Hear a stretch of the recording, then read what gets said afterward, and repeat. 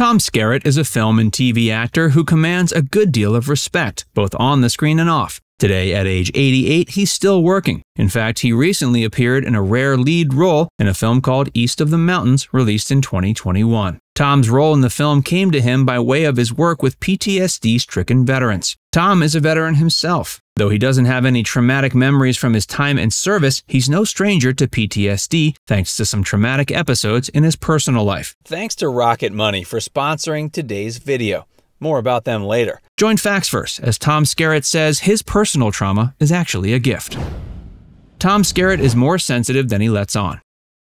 Though Tom Skerritt doesn't have many classic lead roles to his name, the actor has been a supporting player in numerous classic films and continues honing his craft at age 88. Some of the many classics he's been involved in include Robert Altman's MASH, Ridley Scott's Alien, and Tony Scott's Top Gun. Tom Skerritt certainly knows a thing or two about artistic sensitivity, which is part of what led the actor taking on his role in East of the Mountains. It started when the actor was teaching creative writing classes in Seattle. During that time, Tom saw an article in a newspaper talking about suicide statistics amongst veterans. It said that veterans typically have higher suicide rates as a result of PTSD. Tom served in the military for four years earlier in his life, but he also experienced PTSD. Though he didn't receive trauma from his time serving his country, he has had a few traumatic incidents over the years. Tom's sensitivity towards veterans and people suffering from PTSD in general gave him the idea to start teaching a creative writing class designed specifically for veterans suffering from PTSD. Tom believed that giving veterans an outlet to hone their traumatic memories into art would help them overcome the trauma of their time in service. Tom's reasons for believing this were personal,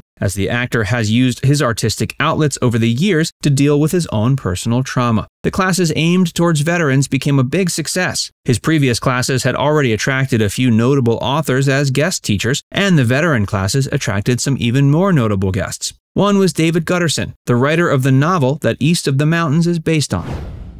How Tom got his role in East of the Mountains.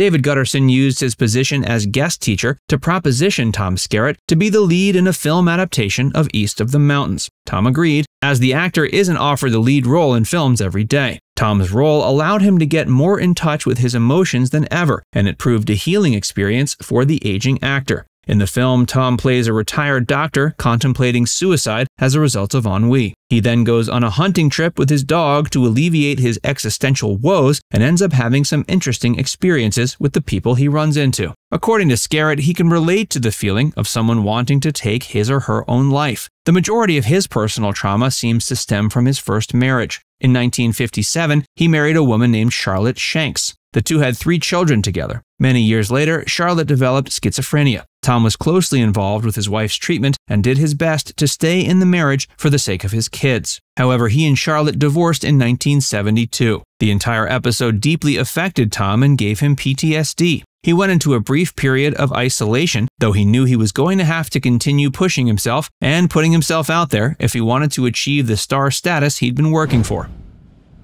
With inflation and the increasing cost of living, it's difficult to stay on budget to save for retirement. Having some extra guidance with budgets can help, and that's where Rocket Money comes in. Rocket Money is an all in one finance platform that helps you save more and spend less. The Personal Finance Manager allows you to manage subscriptions, lower bills, monitor your credit score, and build your savings all in one place. Rocket Money can see if you have recurring charges for subscriptions you forgot about. From there, they cancel unwanted subscriptions for you with just a tap. You never have to get on the phone or try to hunt down the cancel button. Inside the platform, you can set budgets and monitor your spending for those categories. If you go over budget, you'll get friendly notifications that help you stay on track. You can also monitor your credit score. With complete access to your credit reports and history, Rocket Money alerts you of important changes that impact your score and offers you insights on ways to improve it. Rocket Money is trusted by 3.4 million members and counting.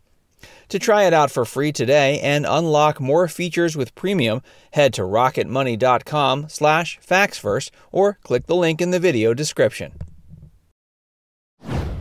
Tom Skerritt went into a period of isolation that many feared he'd never come out of. In the end, it was director Robert Altman who helped him overcome his trauma. In the ensuing years, Tom became a bigger star than ever and also helped others suffering from the same problems. Before we tell you more, be sure to give this video a like and subscribe to FactsVerse if you haven't already.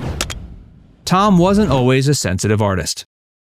According to Tom Skerritt, channeling his artistic talents helped him overcome the trauma he was afflicted with during his first marriage. Robert Altman, who directed him in the 70s masterpiece MASH, is credited with inspiring the star a great deal. As a young child, Tom didn't have much of an affinity for the arts. He's recalled looking at the classic sculpture The Thinker during a school trip and wondering why the naked man was sitting on a toilet without a newspaper to keep him entertained. However, the young man opened up to the power of art as time went on. Other early memories that proved influential for Tom include the times his older brother would play then modern jazz and blues albums for him. Tom's brother enjoyed albums by artists like Billie Holiday and John Coltrane. Though Tom was too young to register the names of these artists, he grew to greatly enjoy the style of music.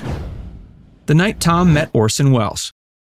As a young man attending UCLA, Tom Skerritt first viewed Orson Welles as Citizen Kane. The film really stood out to the actor, who claims it was one of the first experiences that showed him the power of film. Citizen Kane featured Orson Welles in the lead roles, both on screen and behind the scenes, as the auteur director played the film's lead. Tom, too, has flirted with the notion of expanding his talents behind the scenes, having directed some episodes of the hit 1990s television series Picket Fences. Orson Welles' work proved a big influence on Tom early on, and the actor ended up getting to meet the auteur upon his entrance into the Hollywood sphere. However, it seems meeting Orson was a bit of a disappointment, as the legendary filmmaker was deep in the bottle at the time. It happened one night when Tom was dining with his agent. Tom's agent always took him to fine establishments, as it gave the actor the opportunity to brush shoulders with some of the most popular stars of the day. According to Tom, he was just turning down the advances of a notable Golden Age starlet when he noticed Orson Welles patronizing the establishment's bar.